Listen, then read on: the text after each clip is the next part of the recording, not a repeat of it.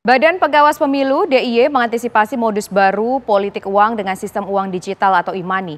Bawaslu akan meminta bantuan OJK untuk mendeteksi potensi terjadinya kasus tersebut. Badan Pengawas Pemilu terus melakukan pengawasan potensi pelanggaran pemilu 2024, salah satunya pemirsa dengan mengantisipasi modus baru praktik politik uang. Modus tersebut dilakukan dengan sistem uang digital atau e-money, meski sampai sekarang belum ditemukan kasusnya di DIY, tapi ke depan Bawaslu akan meminta bantuan OJK untuk mendeteksi mendeteksi potensi terjadinya kasus tersebut. Saat ini Bawaslu Sleman tengah mendalami kampanye dengan modus politik uang yang dilakukan peserta pemilu 2024. Anu,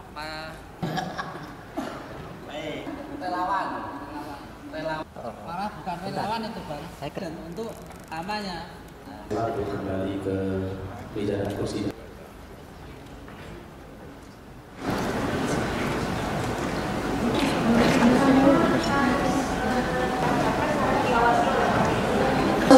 Dan gesekan masyarakat itu